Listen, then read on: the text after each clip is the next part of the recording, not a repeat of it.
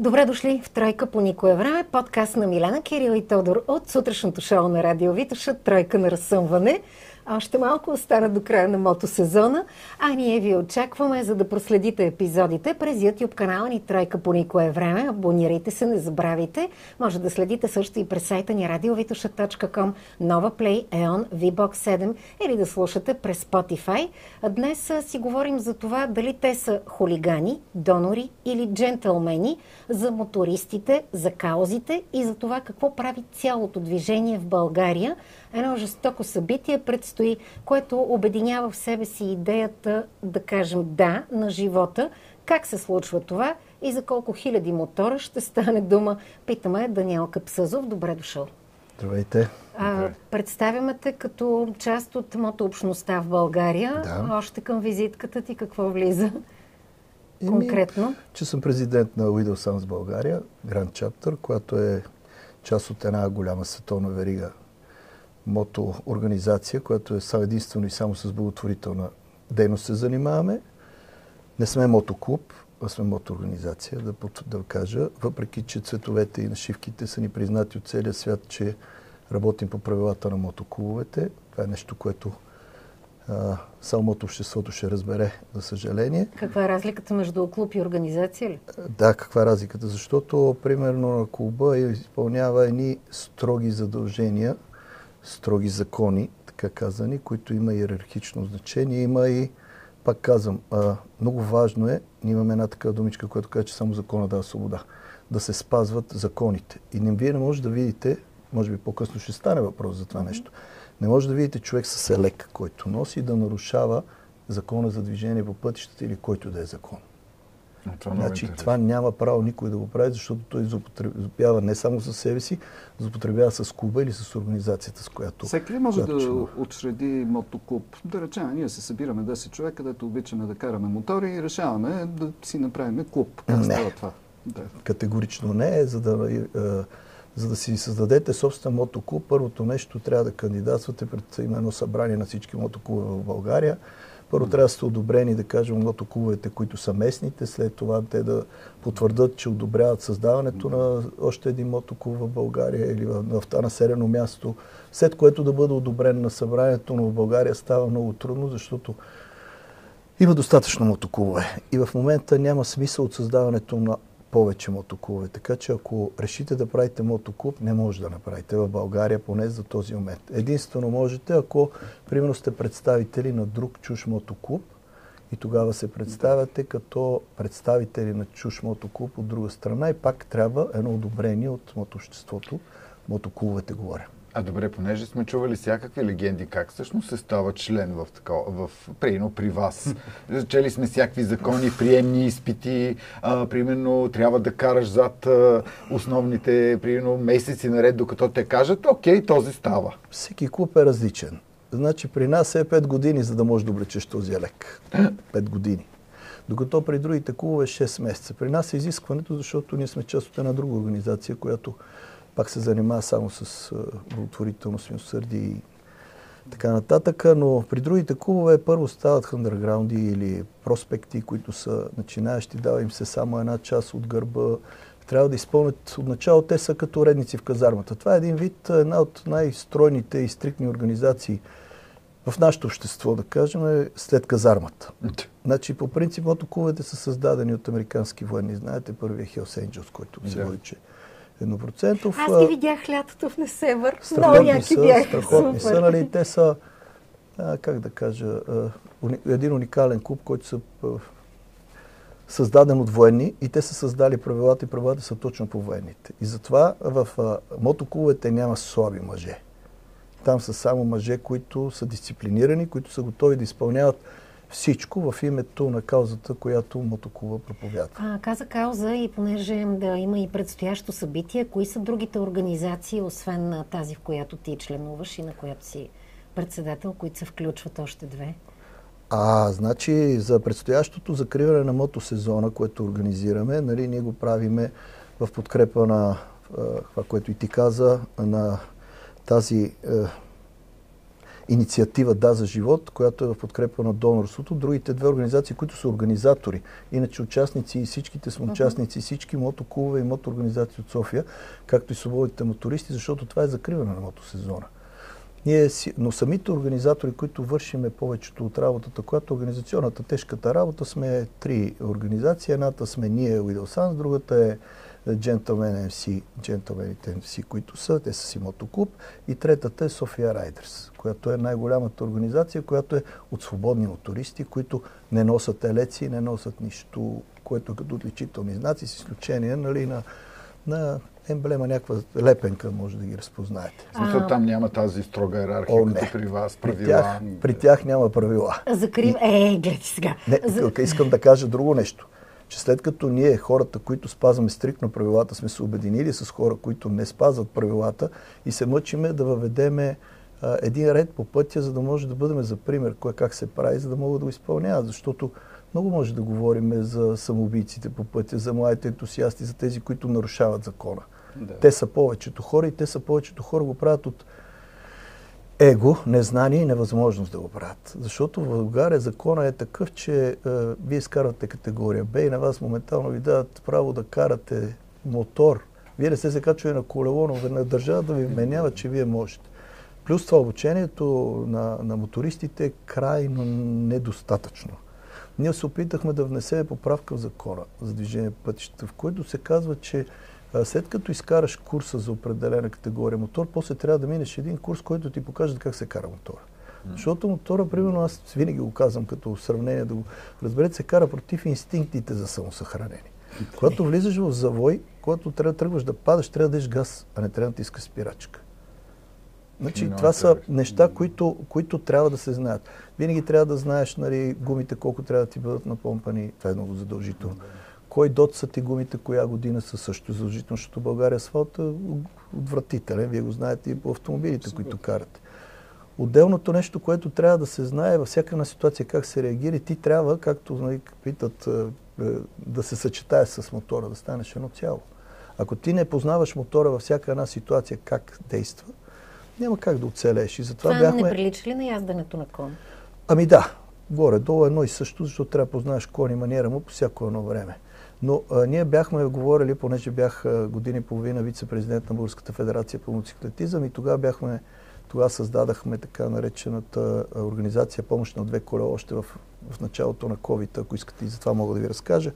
Да. А, а, тогава бяхме се разбрали така, да сме разговаряли с Мартин Чой, с Ангел Караниотов и с други състезатели и треньори по мотоциклетизъм, да могат да направят курсове, които да бъдат задължителни, за да могат хората, като си вземат собствения мотор, да могат да го познаят. Да им покажем как се кара мотора, за да могат да оцелеят на пътя. Ама има ли, какво ги учат, когато взимат достатъчно книжка? полигони? За, доколкото знам, имаше доста недостиг на това. Полигони няма никакви, да ви да. кажа. Няма полигони абсолютно никакви, което е огромен проблем. В момента, може би в дружба тук има малко полигон, че има един-два полигона. Въпреки а, това е една друга тема, която пак ще заседнем. Ние успяхме с председателя на комисията и с транспортна комисия в Столична община да ни очредат терен, който е 90 декара, който се намира до Арогара София на околовръсто шосе и в момента търсиме някой инвеститор, който да дойде с една програма, за да може да го асфалтираме да го направим полигон. Иначе всичките мотоклубове и мотоорганизации, както тук ни подкрепиха и Федерацията, както по мотоциклетизъм, така и по автомобилизъм, тук ни подкрепиха Асоциацията на инструкторите, които се занимават с обучение, тук ни подкрепиха картинга, всичките тези, да. които се занимават с някакъв вид моторни спорта, говоря, които са на, на колела, а, ни подкрепиха, за да може да го направим. И това решение го внесахме и го одобриха от столична община, което е един голям успех, защото ние се мъчиме вече, може би, 7 или 8 години да намерим местенца, пък преди нас са се мъчили всеки един по-отделно да направи нещо. Но обединявайки се. отпуснато от столична община ли? От столична община ни го учредиха, но казаха, че ние трябва да дойдем с една точна ясна концепция, точно да. какво ще правим, да. за да могат да ни го дадат и столична община да ни го дари безвъзмезно. А всичките тези 90 декара ли трябва да бъдат асфалтирани? Еми, то това е въпрос на този, на планиране да направим концепцията, която и какво искаме точно да се случи. Защото в един такъв проект, когато се учиш, да, окей, в повечето случаи карате по асфалта, ма не винаги. А, искаме по принцип, тук желанието нали, на част от нас е да го асфалтираме цялото, за да може да се обособи и като писта малка, и като голяма, и като а, възможност за, за, за, за полигон, за да има место за всичките, да може малките деца да направим една като детска площадка, където да могат да карат малки моторчета, да разберат а, какво значи а, закон за движение пътища, къде има стоп, елементарните неща, които да ви кажа в днешно време а, повечето книжки Айде, сега се опитахме да, да смениме малко и процедурата по даването на книжки, защото то е даване на, на свидетелство за управление. Те не са даване на свидетелство за управление, нито за мотоциклетизъм. Те са даване на едни а, свидетелства за инвалидност или за смъртност, актове за смърт. Защото качва се един младо момче на един мотор от 1000 кубика или 800 кубика, дава газ, 2 февруари ще си взел книжката, асфалт е студен, минава направо и заминава. Това е проблема със смъртността по пътищата. А когато се учиш и искаш да си вземеш книжка, на какво те учат свързано с мотор? Дават ти мотор, който да е учебен мотор. Това е като жигулата учебната по време на социализма. Води Ама такъв не е много мощен ли? Не е мощен, обикновен мотор. Повечето са там една Honda Hornet, мисля, че беше която е а, малък мотор, около 400 да. кубика, или беше там, не помня точно колко беше, и караш на него, не караш на твоя мотор. Изведнъж ти взимаш един Ямаха или Кавазаки по 7 модел, който дига 400 км, решаваш да покажеш, че имаш книжка, обаче нямаш къл в главата, ти не знаеш, че нямаш възможност да го караш. Защото нямаше къл, нали, нормално? Да, да, нямаш. Не, просто, просто не младите хора, да караш, младите това е. хора, да, това е огромният проблем, че младите хора не знаят как да карат моторите. А и много е важно да се покажеш. Нали, младият човек иска да изтъкне егото си, защото още той няма качества натрупани, за да каже, че има опита качествата и решава. Е, аз съм гледал този по смисъл филми за такъв тип, нали, в които карат заедно, смисъл не с много висока, докато гледам редовно има така модни кафенета в София, в Пловдив, навсякъде, където се събират точно с последните модели, нали, не знам какви ауспуси, не знам колко спортен модел и са точно такива, които си викам този, ако мине завой, може да изкара до нова година. Абсолютно сте прав. И а, една позната, която е луда на тема мотори също, но тя като си взе пак нали, хубав а, такъв мотор, който нали, изглежда пер, перфектно, доколкото си спомням, тя отиде на курсове в Гърция, където а, вика нещата, които аз винаги съм си представил, смисъл тя от хората, които кара мотори, но вика аз си представях неща, за които просто ми обърнаха, смисъл, инструкторите са казали, това не се прави по този начин. Uh-huh. Смисъл, не може да имаш мотори на втория ден да се клякаш с коляно опряно в бетон, в асфалта. И това е, че някои хора просто отиват и искат да надграждат или да слушат съвети, докато другите, според мен, в и по-малки населени места, там, знаеш, отиваш в uh-huh. втора употреба коли, между другото има и мотори, хайде и в дървото. А, понеже говорим за, и за младите, и ти спомена за този, този терен бъдещ, а, който ще се ползва, включително и деца с по-малки моторчета, а, огромна част от по-младите хора всъщност свързват мотора точно с това, с което и ние сме го свързвали, с усещането за свобода. За тях мотор е символ на независимост, на свобода, на полет, на някакъв начин на живот. Тоест символите през поколенията остават едни и същи, да. обаче а, накрая не знаеш какво правиш с тази свобода.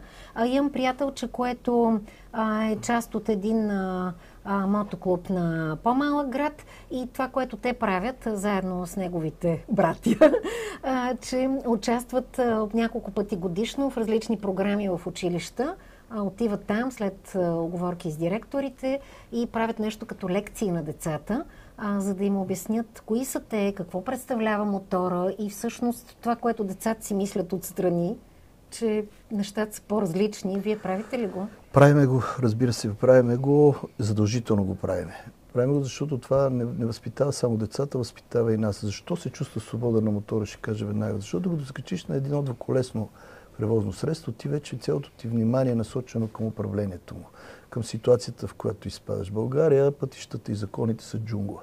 Ти тук трябва да оцеляваш. Те питат защо слагаме ауспуси, които гръмат. Слагаме, защото като дадеш газ, и те виждат, чуват те, за да могат да ти направят път. Защото в България няма закон, който да бъде, как да кажа, санкциониран водач, който говори по телефона, засичате и те убива. Нали? Или дори да направи обратен завой на двойна непресечена линия, да те убие. Нали, те него го наказват с 6 месеца лишаване от право да управлява. Аз си мислих, че ги слагате нарочно тия оспаси да не могат да спа нощем. А, не. Това, което ги слагат нощно време да карат, това са една друга група. Затова да, да. казах, че хората, които сме с елеци, не може да си позволят да нарушават закона. Вие не можете да си представите какви са наказанията при нас, ако някой наруши с действията си или накърни достоинството на клуба. Вие просто не си представите. Това е точно като казармата. Не е карцер, значи събличане на лек, изгонване позорно. Просто при нас няма такива работи. И това, където хората си образяват, че ние сме едни разхайтени хулигани, нали, няма такова нещо. Във всяко стадо си има мърша, за дето се казва. Нещо, нали, но... Не е ли виновна и поп-културата? Всички филми, които сме гледали за така наречените рокерски банди, за това, че нали, секс, наркотици, рок-н-рол и мотори горе-долу ги вкарат в една графа. Как да кажа? явно изобщо не е такава. Винаги е комплексно нещо, което променя а, психиката и настроенията на хората. Вие знаете, и българската да. поговорка, кажи му, че сестра му еди каква си, ама той няма сестра. Нали, тук е същата е, работа. Но все пак ние да. знаем за брутални инциденти. Били сме свидетели, засичали са ни и нас в ситуации хора на мотор. Естествено, че не слагаме всички под един знаменател. Това казвам. Ако ви засече някой с елек, обадете ми се, бъдете си. Аз не мога че... да видя дали е селек или всяки не, няма как. Ти, ти знаеш колко бързо профучава. Няма как да не видите е, дали е, е селек. Да принципно, принципно ние спазваме закона движиме се в рамките на километрите. Ние даже искахме промяна на закона за движение да. по пътищата, защото ни накараха Накараха ни да караме с 20 км под, средната, под максималната скорост, която е обявена за магистрала. Примерно, вместо 130 се движим 110, колко се движат камионите. Ми, те ние сме, ще ни изгадат като хлебарки. Искахме и ние принципно караме някъде 5-6 км по-високо това е горе-долу 10%, което е позволено, над максималната скорост, за да не бъдем засичани от всякакви видове колички, от всякакви видове хора, които не могат да карат. Нали, да може да запазим. И ние винаги се движиме в група, винаги сме обозначени. Имаме си стопери, имаме си пътни капитани, имаме си блокери. Дори като минаваме на кръстовището, блокера спира, за да минем всичките, да запазиме така че целостта на нашата организация, на нашия куп и на нашите редици и да, да как да кажа, и а, движението по пътището, защото да те блъснат не е приятно, но и да блъснеш не е приятно.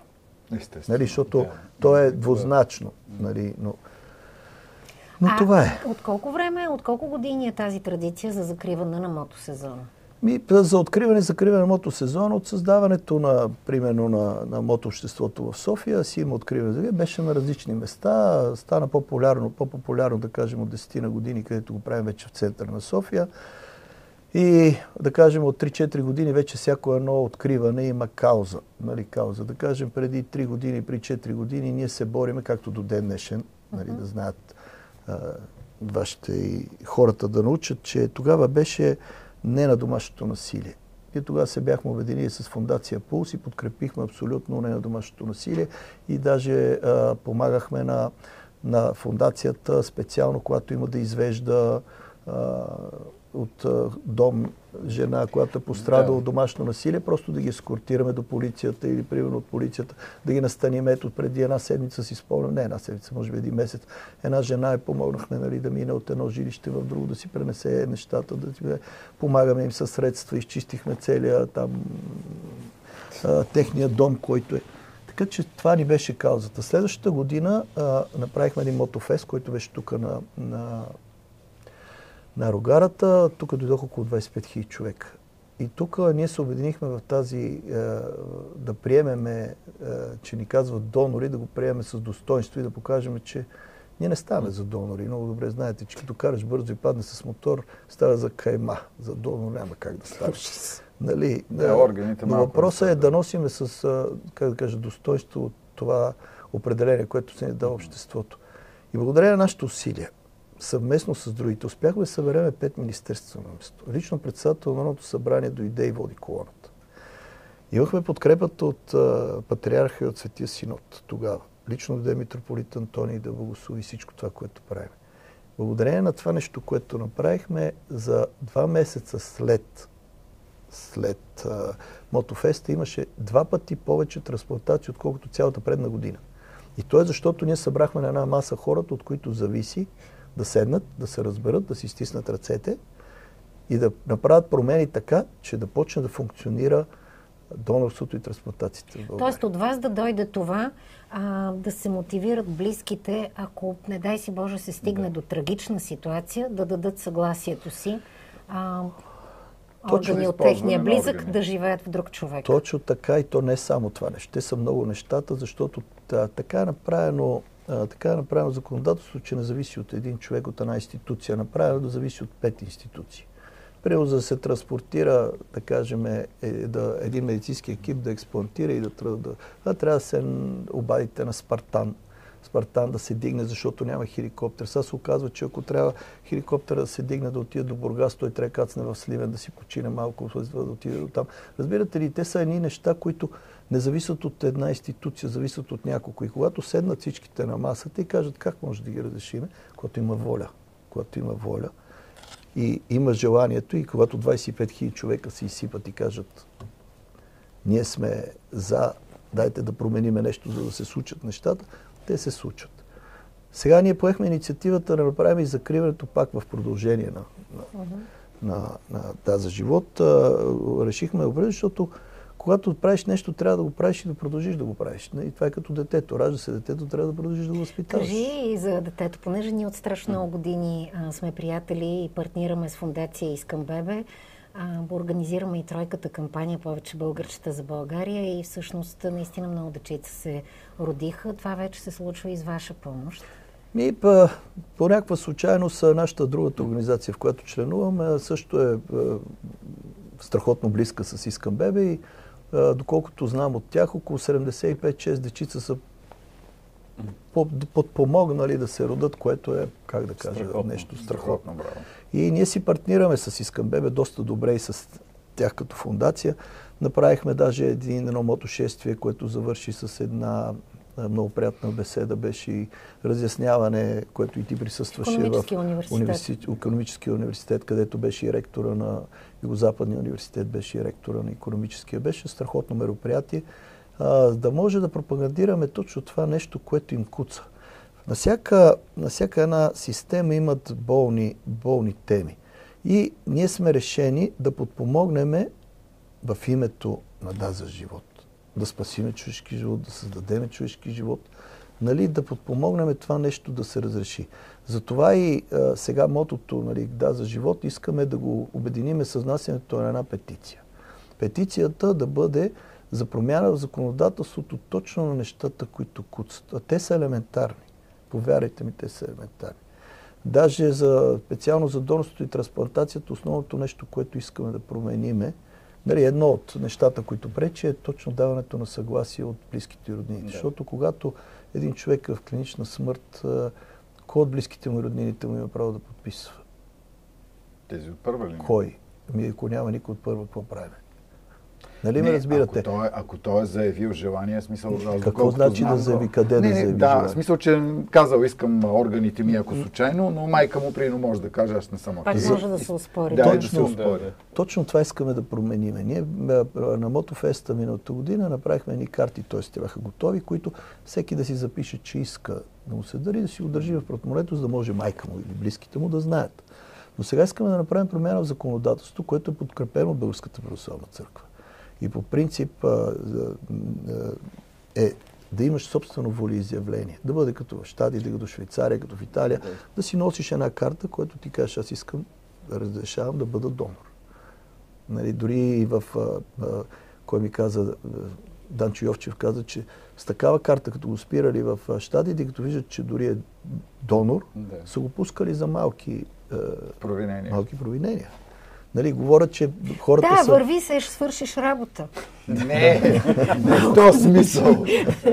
Ами, не, искам да кажа, че честно на масата, а, избрал си да имаш а, по-екстремно хоби или себеизразяване, по-екстремна любов, но в това отношение си отговорен за това, че от една страна се учиш на правилата и на това, което ти споделяш. Аз затова се сетих за конния спорт, нали, да се слееш с мотора и да разбереш какво е а, този контрол на пътя, доколкото е възможно да бъде управляван. От друга страна, ако стане някоя гадост, а, ти с пълната отговорност и съзнание, че може да ти се случи все пак, казваш, окей, нека някой друг да живее. В България, качиш ли се на мотор, си с единия крак в гроба.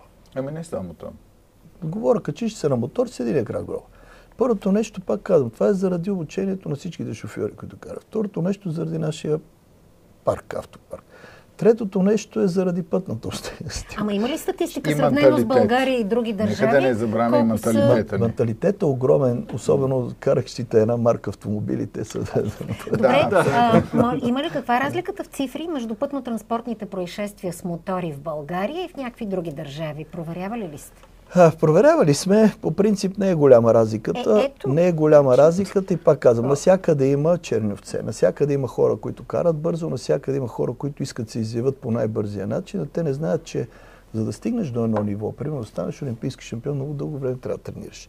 За да караш с 400 км, ти трябва много добре да можеш да караш. Плюс това трябва да имаш къде да караш.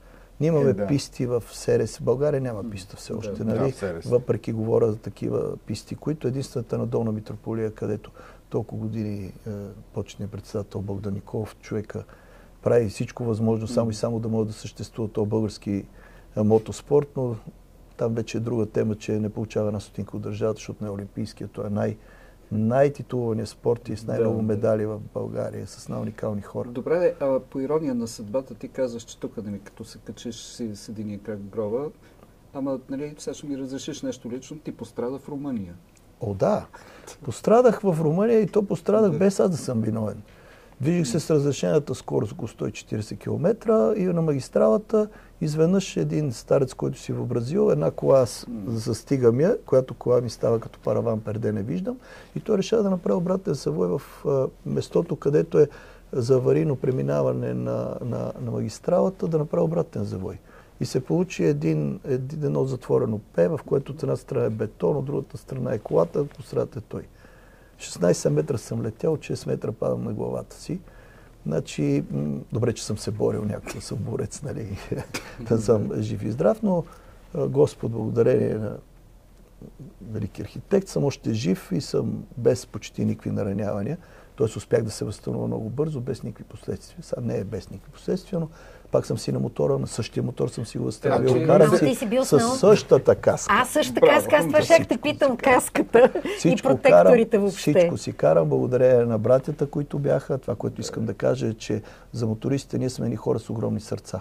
Ние няма да оставим нито един човек на пъти. Когато падам, веднага спира и един човек, който е моторист пак, който е а, съд- медик, а, как спешна медицина, парамедик. която нали, не ми сваля каската, знае как да борави, какво да направи. След това наши брати от Румъния, които ме взеха с хеликоптер, ме закараха до, от Георгиево до Букуреш и грижиха се за мене 6 дена. Оттам се върнах тук, наши братя пак, мотористи ми помогнаха. И ние сме едно, затова се наричаме братя. Да. Защото винаги си помагаме всяка една ситуация.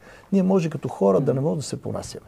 Обаче имаш ли проблем на пътя, повярвай ми, че съм те метнал на гърба, закарал съм те и съм направил всичко А възможно. какво става с сестрите, които карат а, прегърнали ви през кръста? Сестри- Тоест, които вие возите. Сестрите са си част от нашата организация. Ние даже в нашия клуб си имаме женска организация, която сме си ги обединили. На тях им даваме повечето женски, женски е, ангажименти да вършат. Примерно е? Пиара на, на, на организацията на събитията. Типично женските неща, А които те вие могат ли да карат мотор? карат. По принцип при нас всичките жени карат мотори, само че не могат да бъдат от нашата част от мотоклуб. Това ще да Защо? питам. Толкова Защото години... е забранено.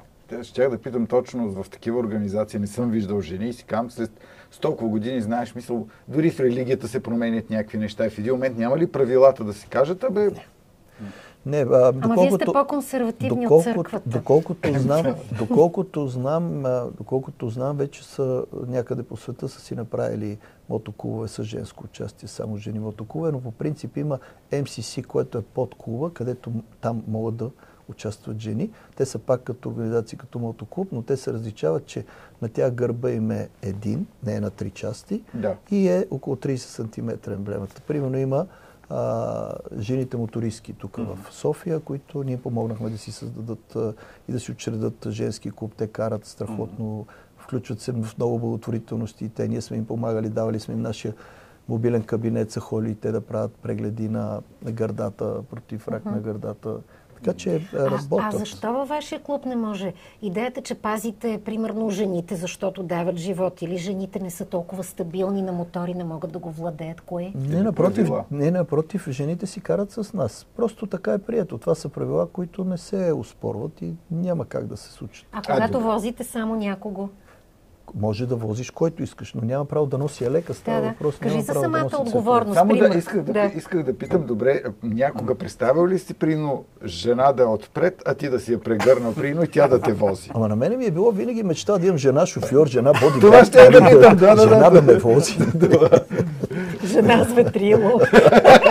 да, добре. Типично се е прегърнал отзад, по-скоро ще е разсейван. За- Представете. За това може, може би, може би А, това не ето, Бранета Кирито винаги веднага разбира сърцевината, да. защо Да, не да, може да, да, да. е член на вашия клуб. Добре, когато поканиш една жена, както на мен ми се е случвало, нали, мечтая си да карам а, с теб а, мотори да, там срещу залеза и това се случва прекрасно и на мен ми духа много повече, отколкото нали, решаваме романтика в лицето, каска и всичко. Отговорността за човека, когато возиш. Какво трябва да се спазва? Кажи, ако някой е решил да си качи гаджето, а има мотор от два дена. Не, той може да кара както си иска и както кара за него, както е най-добро. Гаджето му трябва да знае, че трябва да бъде като чувал с картофи. Тя изцяло се доверява. Багаж, раница. Той като ляга, тя е с него. Това ще Той като се изправя, тя е с него. Изобщо тя да не ляга, тя да не прави нищо, което е свързано с управлението на мотора. Защото аз Ама- балансирах един път, е, тази позната ме вози и смисъл тя тръгва да ляга, аз на другата страна. Тя- си- си нормален- да?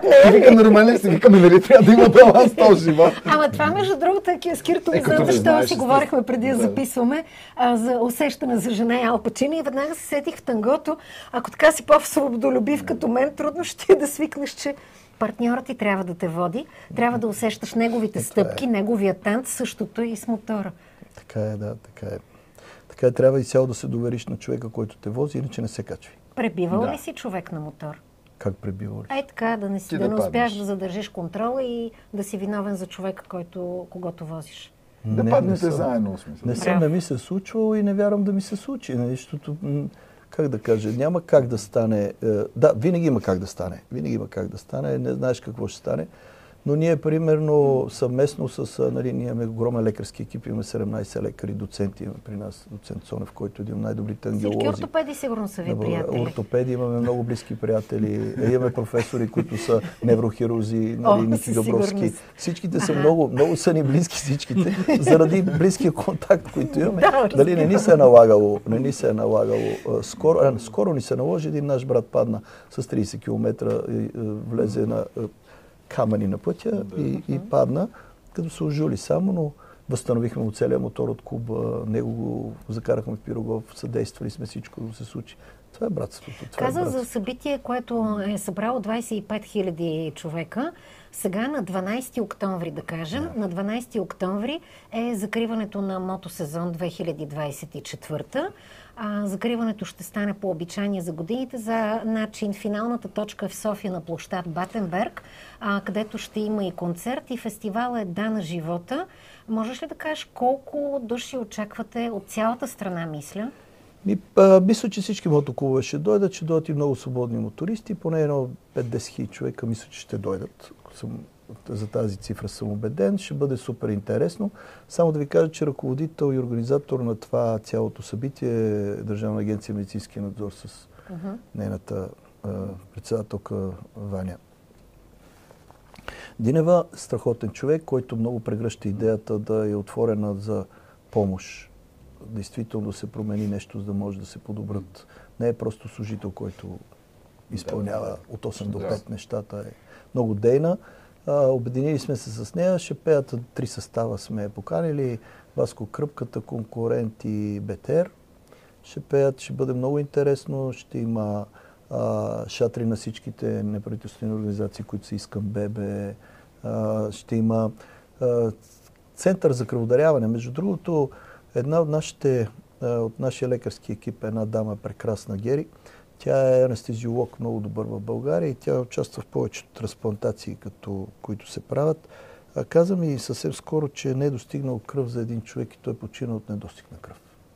Вие представяте ли си И са, докъде сме стигнали, че нямаме и кръв в тази държава и затова искаме да включиме и тази част, и кръводаряването в, в това събитие, за да може да чуят хората, че половин литър кръв спасява два човешки живота. Да ти кажа, тук, понеже тази тема сме обсъждали не един път и два пъти, а, и понеже даде един страхотен пример преди това, как сте ги събрали пъте министерства, ами защо не направите нещо подобно? Значи има следния най-елементарен проблем. Не можеш да дадеш кръв където искаш. Има един единствен център, и ако центровете са повече, ако може във всяка една болница да отидеш да дареш кръв, сигурен съм, че ще има много повече принцип, кръводарители. Само да ти кажа, че във всяка една болница почти има кръвен център. Проблема е, че когато а, приема е в събота, обикновено те казват в събота или в неделя, понеже съм го преживял така доста пъти. И те ти казват ми, в неделя ми трябва да ни донесеш банка кръв и ти казваш ми, добре, къде да отида и те ми те не работят. Точно заради това. А, и след има... което всичкото е това нещо, което са направили с а, цялото разрешение ти да можеш да отидеш и така една група хора да си продава кръвта което ти отиваш, даваш му пари, защото няма вече. Ти си дал нужните пъти, близките ти са ти дали. Понякога в семейството има прино възрастен човек, много възрастен, който не може да даде кръв.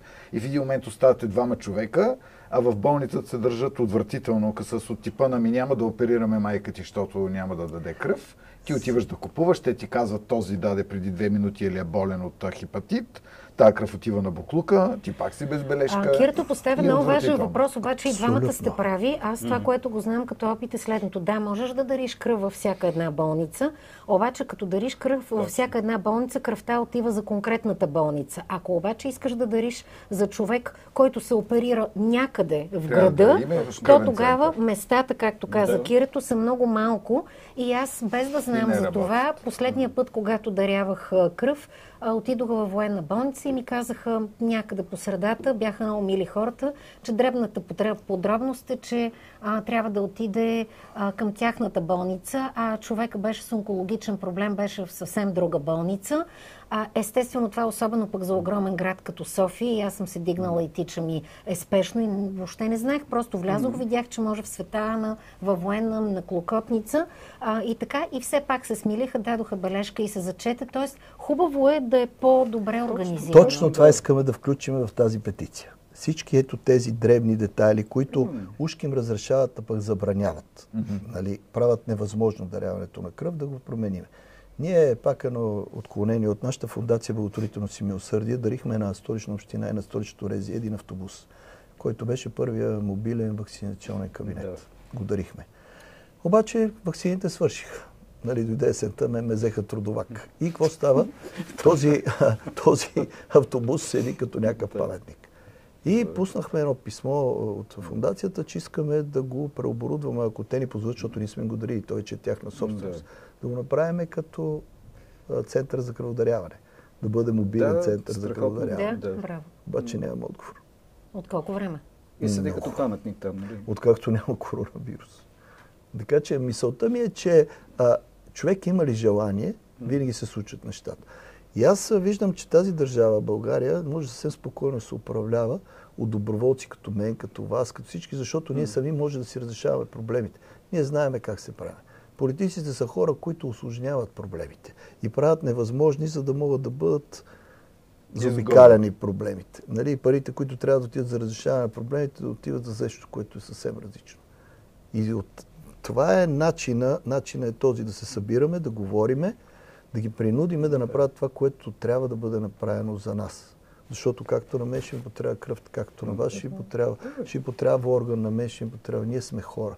Ние не знаем как се завърти колелото на живота. А ние можем да кажем също, че на 12-ти на обяд на площад Батенберг от 12 часа ли сме? 12 часа почва официалната от, част. От 12 часа започва официалната част.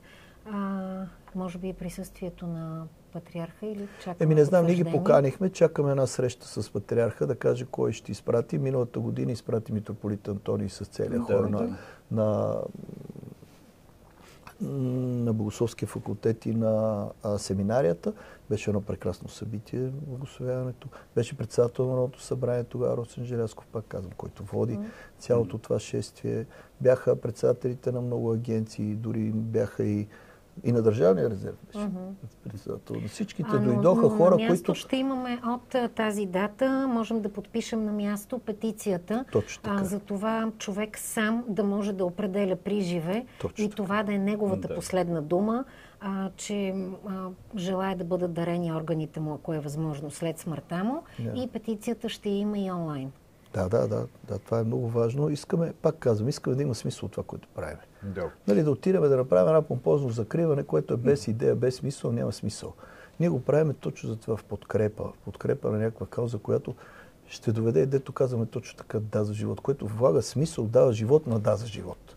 Защото едно е една фраза, един лозунг, някой да го развява. Нали? Да го Друго е да го напълним със съдържание, да кажем, ето хора, ако промените това, това, това. И ние опитахме се вече четвърта или петата година се опитаме да променим закона за движение по пътища. И то елементарни неща. Ми, до сега сме внесли три предложения или четири, които ги внася. Първо беше при Росен Желязков, след това при следващия министър на транспорта, след това при Николай, при Ник Събев. Даже го викнахме, той дойде с мотора пред Народното събрание. Нали, дадахме му всичко, внесахме. И стига до едно место, пада правителството и всичко в кошчето за буклук. Ами Ама не, е чакате, защото пак ще падне смисъл. Ама ние, а, то Още две става, правителства и е коледа. коледа. става безмислено. Затова Да. взехме решение да направим следното нещо. Тази година взехме решение сега на закриването на сезона да поканим за те комисии. Едната, която е комисията по здравопазване, другата, как се казваше, комисия, която... Не, другата, която беше по, за, за, за децата, за, за, как, А, за... за здрав... Имаше специално наименованието, Да. затова не мога да се сета. Имам го записано. А другата комисия и мисля, че ще дойдат целите комисии. И направо на тези комисии ние ще им връчиме нашата петиция, като след цялото мероприятие се даде определен срок, когато дадем срок за приключване на събирането на подписите, ще им връчим и подписите, като потвърждение на това, което искаме, че хората действително искат да направим нещо в държавата, която държава е за нашите деца. В крайна сметка не може да няма деца в държавата, като тя е, а, защото шапка и сваляме поклон е първият донор нали, на яйцеклетка в, в България и като да, разбрах сигурна, бях... че имало и преди мен, обаче... Добре, ти си първата известна. Обаче бях полезна просто за да Да. кажа, ето вижте, нали, ако нещо ми има, си е от мен, не е от донорството. Примерно, ако се увеличат Да. малко парите, които се плащат за яйцеклетки, да се направят както са в Испания, както са в Германия, както са всякъде. Донорските се- инвитра не се покриват от държавата, това са Аз отделни знам, програми. но аз по принцип и казвам, че трябва. хубаво. Трябва. Да. трябва държавата да се включи, защото ние останахме без население от 8 на 5 милиона. Ами би било хубаво и защото ние също използваме и чужди банки донорски за Е, генетичен е- материал. А е хубаво да се използват а, български банки, защото в крайна сметка, когато говорим за а, послание, за а, съвместимост, нали, тя, тази съвместимост е по кръвна група, обаче какво по-хубаво от това да знаеш, че Както каза един наш приятел, къде отива българския генофон? Нали, яйцеклетката от чужбина, спермата от чужбина, изведнъж българка го изражда, но тя е просто една сурогатна майка, която не влага нищо Ужасно. като ДНК и като възпитание като- от нас. Българския генофон заминава. Иначе децата са деца, те са най-прекрасното нещо. си. И те трябва да имат и родители. Много от тях биха могли да бъдат спасени. Аз бях потресен от една статистика, като си говорим за донорството изобщо, че е, в Испания за ден се правят толкова бъбречни трансплантации, колкото у нас за цяла година. Какво да говорим? Не, не, няма какво да кажем. Аз ще ви кажа ситуация. Нали? Не е хубаво да коментираме нещо, което не знаем, но Да. а, имаше е, по... Разбрахме, че в Пловдив е имал един донор, който нямал кой да го експлантира и от българска страна и а, са дошли румънците, взели с всичко, понеже ние имаме договор с Румъния, с други страни покрай нас, Македония, Гърция, които са много напреднали в медицината, нали, в Да. сравнение с нас. И са а, взели органите, благодарили са ни и така и са продължили да съществува някой румънец или някой македонец и така.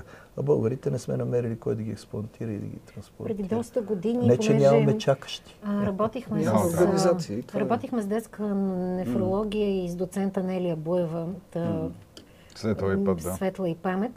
А, тя направи страшно много в тази посока. Бяхме говорили и знаем от нея, че френски екипи идваха, обучаваха наши хора, мисля, че в Пирогов беше. И пак там последно стана скандала в коя болница де, а не може ли да е в правителствена и цялата концепция и цялото усилие отиде по дяволите. Професор Янев, Краси Янев, много близки приятели сме с него. Той е уникален. Той прави повечето и Паскалев. Нали, те правят страхотно, страшно много операции. И са, как да кажа, толкова дадени са хората, но лошото е, че една птичка пролет не прави. И това, което си говорихме и с госпожа Динева е, че а, в момента медицински надзор са отделили пари за обучение. За обучение на млади кадри да могат да бъдат Да. обучени Браво. как точно да, да правят а, трансплантации, експлантации и да ги пратят на обучение, не само тех, за да имаме, как да кажа, защото един проблем не е само от, един, от едно нещо. Един проблем винаги е комплексен. Да. И когато ние видим едно нещо като неправителствени организации, вече специалистите видят другото. И когато се допълним всички заедно, за това обединение говоря, защото само обединението ни дава силата. Нали? Когато видиме всичко и кажем, предложим, ето, направете го, господа политици, те да го оформят юридически, политически, да го оформят както пожелат. В крайна сметка, пресечната точка е живота. На тази среща, на която се видяхме с теб, имаше хора, които се занимават с, с супер различни неща в живота като реализация. Юристи, журналисти, хора, които се занимават с партиите и с какво ли не, с някакъв личен собствен бизнес, понеже спомена за госпожа Динева и за медицински надзор. А, на, мес... на всяко място да има един човек, който да мисли по същия начин, може би това е вариант. Затова е целта на нашето събиране, да събереме хора от различни професии, различни етноси, различна религия, различни хора да събереме.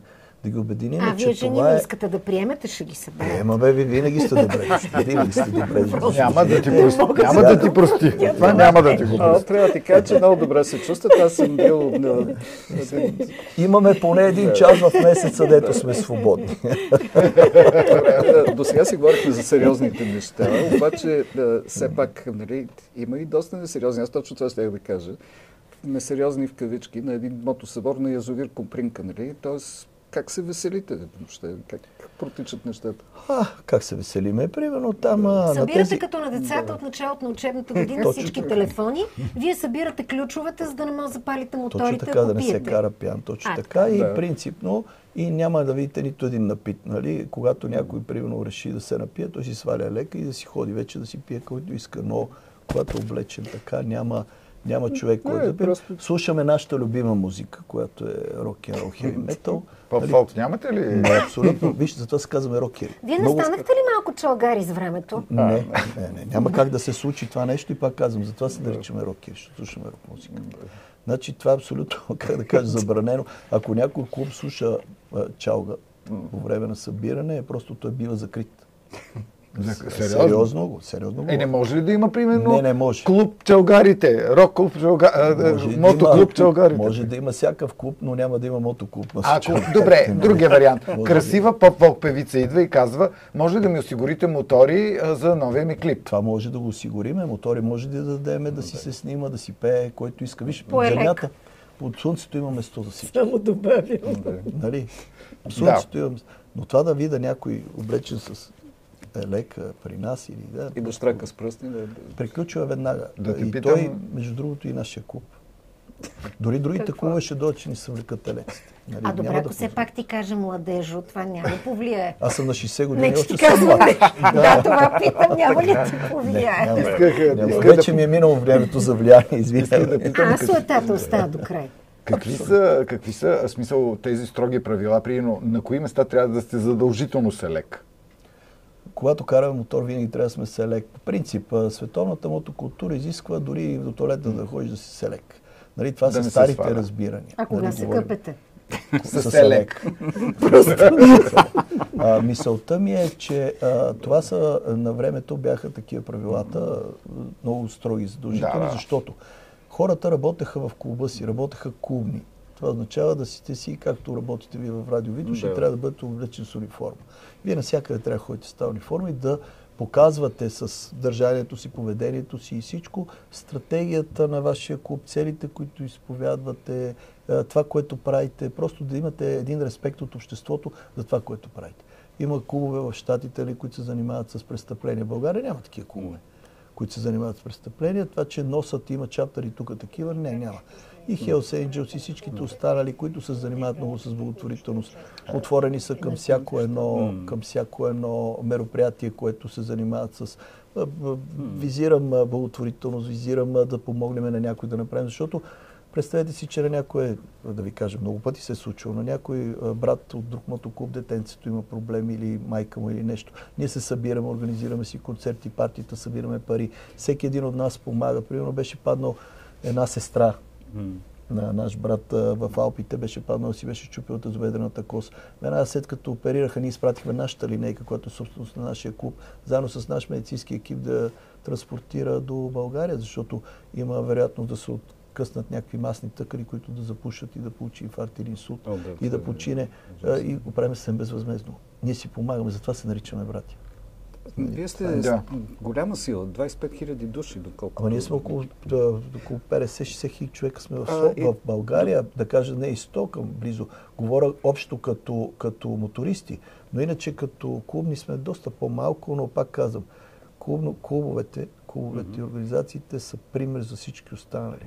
Много хора искат да влезат при нас, но много трудно става влизането, защото пак казвам, едни 6 месеца, едни 8 месеца, той трябва да пречупи себе си и да види, че егото си. Просто все едно влизате в казармата. Това исках да ти кажа. Прави ми впечатление, че когато такъв тип организация, която обединява страшно много хора, обикновено винаги е обект на някакви атаки, да го кажем направо, да бъде използвана политически. Не, Докато не... при вас не съм чул до сега такова нещо. Значи, при нас е забранено да се занимаваме с политика. Ние не се, при нас е забранено да се занимаваме с политика. Агитиране е всяко. Не, не, абсолютно. Опити такива правил ли е някой? Правили са много. Много хора са идвали, нали, дайте да излеземе, дайте да подкрепиме. Mm. Когато подкрепяме една кауза, може да е подкрепена от политическа сила, но примерно тази, която е в момента. Да. Сега ние не можем да не поканеме политици. Да. Политиците mm. разрешават нашите проблеми. Така е направено законодателството в България. Да. Ние какво да направим? Към кой да се обърнем? Кой да го промени? Политик. Естествено. Политика, значи ние му казваме на него, ей, ние сме те назначили теб. Плащаме ти определена заплата да не решиш проблема. Ние ти показваме какъв ни е проблема и как да го разрешиш. Ти намери начин да го направиш, затова ти плащаме пари. Но това не означава, че ние сме политическа подкрепа. И понеже това мероприятие цялото е доста близко до, до изборите, Нали, някой може да си препише нещо, но да знаят, че ние не подкрепяме нито една политическа сила. в цялото мероприятие и фестивала Ден на живота а, подкрепата е и организацията е от Уидал Sons, от Gentleman MC, от София Райдърс, Софийските мотоклубове а и Всички мотористи. Всичко това съвместно с Министерството на здравеопазване, то от Държавна агенция Медицински надзор, подкрепа на Светия Сина, от Комисиите по здравеопазване, а, за Държавния фонд Инвитро ще си говорим допълнително, но фундация Искам Бебе са на място. А, комисията Демографската към Народното събрание, а, благотворителност и милосърдие, движение на българските майки, Пулс, които ти спомена, БЧК, страшно много хора на място. Да. И всъщност ще можем да подпишем петиция на място, която е свързана с донорството на органи, да си поговорим за разни хубави и важни неща, се запознаем с супер различни хора, защото мотори карат хора от с всякакви ми, занимания. А, ние при нас, да ви кажем, имаме професори, имаме доктори, имаме супер бизнесмени, имаме хора от всички прослойки на обществото. По принцип да се занимаваш с хората са останали с впечатление, че в мотоклубовете са примерно последни от трепки хора, които стоят. Ми, при нас са с по две висши образования, ръководители на кампании, имаме това са наслагвани едни такива клишета. Че са без работа, пък че цял ден са шлят всъщност изобщо не е вярно. Няма такова да. нещо и пак казвам, ние се обединяваме и повечето вече мотоклубове нали, се обединяваме в това да, да правим добро, да, да промениме света около нас, защото смисъл от събирането ние не е само да караме мотори. Карането на мотор, всеки може да си кара мотора, когато иска. Но когато се събереме повече това, което ви казах, че съединението прави силата, е нещо, което е страхотно и ние това съединение на мотоклубовете, когато става въпрос за някаква благотворителност или за нещо, което трябва да всичките сме единни. Има неща, за които имаме различия. То естествено и затова имаме различни мембари, различни хора, които да. членуват. Нали, едни членуват там, защото се виждат такива. Всеки се вижда по различен начин в огледалото. Иска да бъде развитието му на различно място. Но когато стане въпрос да подкрепиме някой, който е изпаднал в неволи и беда, всички се вървим. Няма значение, няма да, кой значение. клуб. Няма значение от кой клуб е, няма значение какво е. Може да са прехвърчали искри, може, защото винаги тлее, нали, е гори камината да. и Важното е, че всички можем да бъдем братя. Няма да кажа сестри. Имаме този проблем. По-добре, че няма сестри, що ще се изпокарате на първия ден. Много ти благодарим. Благодарим ти за гостуването. Аз благодаря, защото беше много прекрасно. Благодарим ти.